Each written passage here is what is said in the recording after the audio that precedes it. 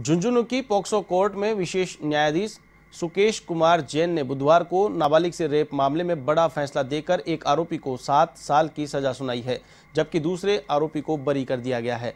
Court के फैसले में दुष्कर्म के आरोप में कुलदीप को सात साल का साधारण कारावास और एक हज़ार रुपये अर्थदंड से दंडित किया गया है।